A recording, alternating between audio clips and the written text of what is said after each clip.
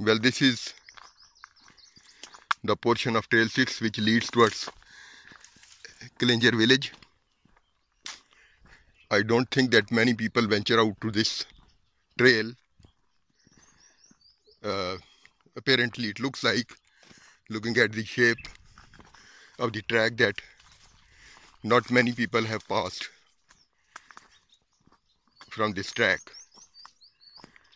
and you cannot maintain a consistent pace because you have to keep bending your body to avoid the vegetation